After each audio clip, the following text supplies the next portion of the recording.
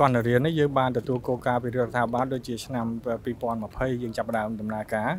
ហើយរហូតដល់បច្ចុប្បន្ននេះគឺរលូននេះបន្ទុកជាមានវិបត្តិបញ្ហារឿងកូវីដមានអីតែយើងនឹងព្យាយាមធ្វើតាមធម្មតាជាក់ស្ដែងដូចយើងឃើញស្រាប់ហើយស្ពាននៅកោះនរានេះយើងធ្វើតាមមុនផែនការទៀតដោយសារបានក្រុមហ៊ុនបានឃើញថាប្រជាពលរដ្ឋមានការលំបាកស្ទះច្បារអំពើ យើងបានដោះស្រាយសឡងមែនតែសឡងក៏នៅតែស្ទះទៀតអញ្ចឹងកាលណាយើងធ្វើបានមុនមួយថ្ងៃគឺគាត់ប្រជាពលរដ្ឋសុបាយមុនមួយថ្ងៃអញ្ចឹងជាក់ស្ដែងយើងបានសម្រេចថាបានជាង90%ហើយហើយតាម schedule គួរតែចុងខែ11ប៉ុន្តែឥឡូវយើងយើងបានរុញការងារសាងសង់មកលឿនអាចអាដោយ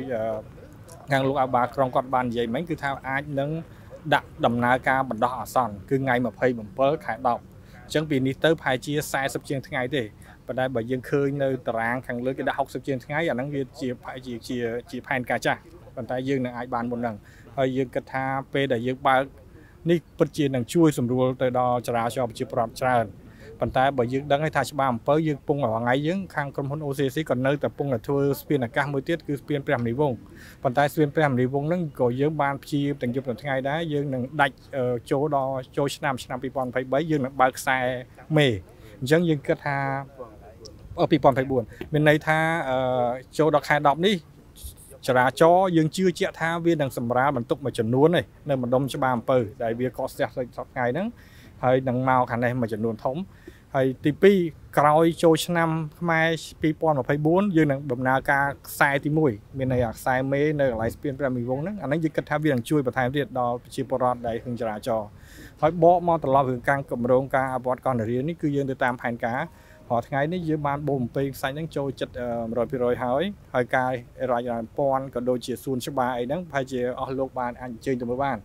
គឺយើងធ្វើសួនច្បារគឺថាអាចថាមានលក្ខណៈល្អប្រសើរបានច្រើន ហើយមានប្រជាប្រដ្ឋមានការគ្រប់គ្រងដែលគាត់ឃើញឥឡូវចាប់ផ្ដើមប្រជាប្រដ្ឋអញ្ជើញមកលេងមកអី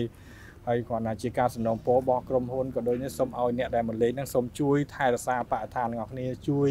ទប់ស្កាត់រឿងសម្រាមទាំងស្អីអីហ្នឹង ហើយដើម្បីយើងរួមគ្នាថែកាលណាយើងធ្វើស្អាតកាលណាយើងមិនជួយគ្នាថែទេគឺมันมันបានគង់វង្សទេអញ្ចឹងក៏ជាការសំណូមពរដល់ប្រជាពលរដ្ឋតែខ្ញុំឃើញថាប្រជាពលរដ្ឋជាក់ស្ដែងគាត់មកហ្នឹងគាត់ចេះគាត់ហូបចុកគាត់អីហើយគាត់ខ្ចប់អស់គាត់យកដាក់ធុងសម្រាមអញ្ចឹងហើយជាការប្រពៃណាស់សឹងសូមឲ្យ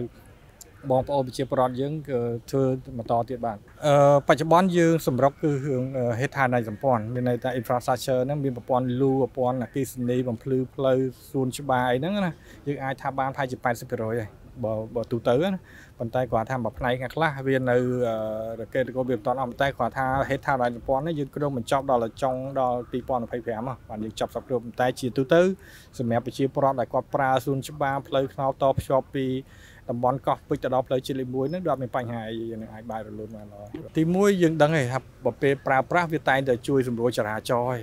ការកកស្ទះប្រជាពលរដ្ឋកាលណាប្រជាពលរដ្ឋគាត់កកស្ទះគាត់ទៅចំណាយដុតប្រេងចោលចំណាយពេលវេលាពេលវេលាហ្នឹងគឺជាមានបាក់របស់គាត់ណាហើយពេលដែលយើងមានច្រក2 3អញ្ចឹងទៅខ្ញុំជឿថាប្រជាពលរដ្ឋគាត់លែង stress ច្រើនលែងចំណាយច្រើនលើផ្លូវអានេះជាចម្រើនមួយហើយជំរុញបញ្ហាសេដ្ឋកិច្ចខ្ញុំជឿថាពិតជាអាចទៅទៅជាមួយគ្នាវានឹងជួយហើយដោយសារ បើទុកជាឥឡូវស្ថានភាពនយោបាយអឺស្ថានភាពកូវីដឥឡូវប៉ះពាល់ដោយសង្គ្រាមនៅខាងក្រៅប្រទេសវាប៉ះពាល់ដល់សេដ្ឋកិច្ចទាំងមូលប៉ុន្តែយើងគិតថាពេលដែលមានចរាចរណ៍នេះប្រជាពលរដ្ឋគាត់នឹងអាចមកលក់ដូរមកអីអីអាចយើងអាចនឹងជួយបង្កកើតបានគម្រោងកណ្ដារៀននេះដោយសារទីតាំងមែនទែនទៅគឺយើងបានអភិវឌ្ឍរួចហើយគម្រោងកោះពេជ្រដែលយើងដឹងទទួលស្គាល់អ្នកគ្នាហើយតំបន់ដែលយើងធ្លាប់អភិវឌ្ឍហ្នឹង ហើយកោះនរាយើងព្យាយាមធ្វើឲ្យល្អប្រសើរជាងអ្វីដែលយើងធម្មតាគឺតែធ្វើលើកទី1តែតែមានចំណុចខ្វះខាតតិចតួចហើយតែនៅកោះនរាយើងអាចហេដ្ឋារចនាសម្ព័ន្ធយើងអាចធ្វើឲ្យប្រសើរជាងមុនសំបីតែប្រព័ន្ធលូ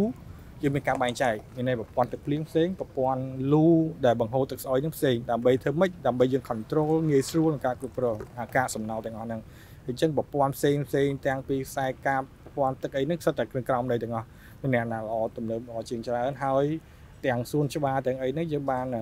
បើក open space ច្រើនទាំងផ្លូវថ្នល់ទាំងអីហ្នឹងណាហើយសូម្បីបំពន់បំភ្លឺផ្លូវនេះយើងប្រើ solar ដែលជាប្រព័ន្ធសម្រាប់មិនកុំឲ្យប៉ះពាល់បរិស្ថានច្រើនអញ្ចឹងសរុបមកវិញគឺថានៅកណ្ដារៀនហ្នឹងវាហេតុតែសម្ព័ន្ធហ្នឹងគឺនឹងអាចល្អជាងអ្វីដែលយើងធ្លាប់ធ្វើហើយខ្ញុំគិតថាយើងក្រុមហ៊ុន OCC នឹងព្យាយាមអភិវឌ្ឍតំបន់កោះពេជ្រក៏ដូចជាកណ្ដារៀនទៅជាទីក្រុងគំរូមួយដែលថាស្អាតបរិស្ថានល្អសន្តិសុខអនាម័យដើម្បីចូលរៀន ហើយក៏យើងក៏មិនអាចធ្វើតែម្នាក់ឯងបានដែរដរាបណា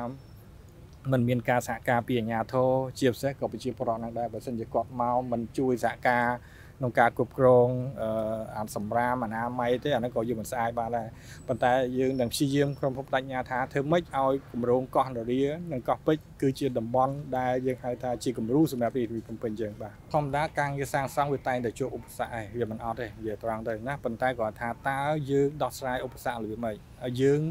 យើងឃើញការលំបាកប្រជាពលរដ្ឋដែលគាត់ឆ្លងកាត់ហ្នឹងវាលំបាករបៀបម៉េចដូច្នេះយើងឲ្យរាល់ថ្ងៃហ្នឹងគឺប្រព័ន្ធសាងសង់នេះគឺមាន3វេន ណាមាន3 3 team មាននិយាយរួម24ម៉ោងបង8ម៉ោងឈប់មួយក្រុមចូលមួយក្រុមចេញមួយក្រុមចូលហើយយើងធ្វើមិនឲ្យ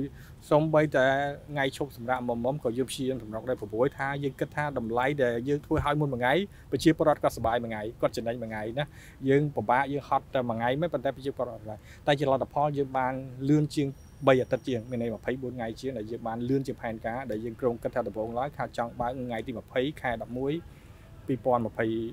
2023ហ្នឹងប៉ុន្តែជាក់ស្ដែងនេះយើងមើលទៅ schedule យើងអាចមុនហ្នឹងប៉ុន្តែតាមពិតយើងអាចមុននឹងប៉ុន្តែយើងត្រូវការពេលវេលាដើម្បីធ្វើតេស្តស្ពានធម្មតាមុនយើងអនុវត្តឲ្យប្រើដំណើរការយើងត្រូវធ្វើតេស្តសិនធ្វើតេស្តឲ្យជាប់ស្តង់ដារគ្រប់យ៉ាងសុខភាពបានយើងឲ្យប្រជាពលរដ្ឋអាចធ្វើដំណើរការបានណា